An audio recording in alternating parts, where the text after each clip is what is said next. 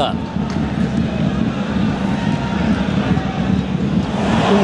כניסה חריפה. וכאן מתפתחת מהומה, וכאן מתפתחת מהומה ושחקני בני יהודה מתנפלים עכשיו על רובן ראיו. מיותר לחלוטין, פשוט מיותר. תשמע, כניסה חריפה מאוד הייתה שמה. אתה יודע מה, אני לא יודע אם זה לא... מצריך כרטיס אדום. כן, זה כרטיס אדום. כרטיס אדום, זה כרטיס אדום. שי שטרית שולף כרטיס צודק, אני אדום, הולך איתו. זה אדום. לראיו הוא שולף צהוב, וגם לגל כהן הוא שולף צהוב, והאדום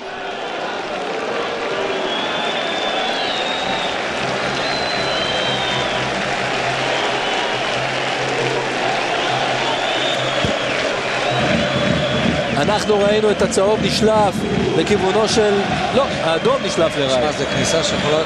כן, מקבל יכול- את האדום, שני בכניסה צהובים כזאת הוא יכול. לשבור רגל, אתה יודע כן, מה? אני מסכים, זה כרטיס אדום. אני אומר לך, זה כניסה קשה, שכניסה יכולה לשבור לשחקן רגל. אני לא יודע באיזה מצב הוא נמצא עכשיו, אבל זה פשוט נורא.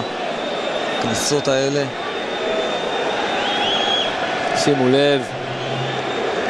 וואו, וואו, וואו. וואו, וואו, אוי, וואו, הרגל וואו. שחקן כזה צריך לשבת בחוץ גמור, גמור. עד סיום העונה. אוי, אוי, אוי, איזה שמע, כניסה. זה זה מחריד. איזה ש...